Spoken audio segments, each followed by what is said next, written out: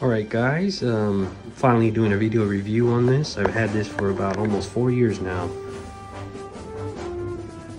Here is the Game of Death original Japanese artwork.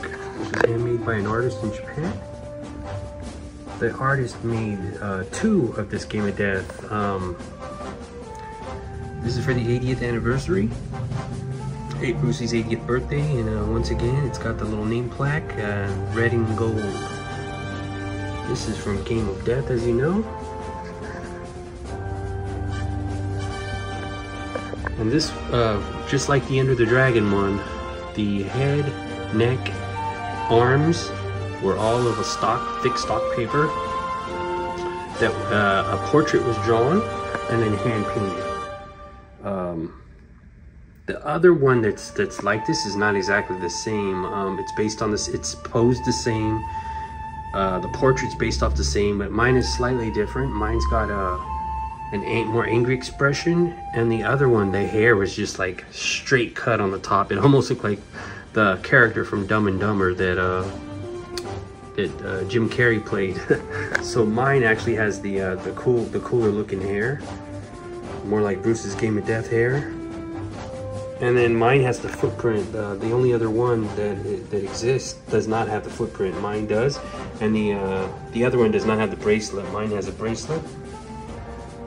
And down it's a like a white fabric on this one. Same style base, similar base. Uh, the yellow outfit is made of a, a fabric and stitched in. I know from a from a distance it looks like a one big cutout, but it's not. It's actually 3D. So if you go around the side, it's it's three dimensional. It's like popping forward, and then uh, the wooden paddle in the back. It's got like a dragon fabric on there. Everything is um, handmade. So yeah, I mean, it just came out beautiful. I love this. This stands out in my collection. I don't see any other really other collectors with this in their Bruce Lee collections. This is something different. And it was based off, of course, this photograph right here. It's got the same pose if you're looking at it. So it's kind of put the Enter the Bay, Enterbay bag uh, next to it. But yeah, this is a beauty. This is very expensive to have this made. Um, and I'm very proud to own this. And then on the back side is just like the Enter the Dragon one with the, with the bamboo, uh, the same painted design on the back. So there's no need to turn it around. But um, yeah, this really pops in my collection. I mean, it's just amazing artwork. It really stands out, especially with the Enter the Dragon one next to it.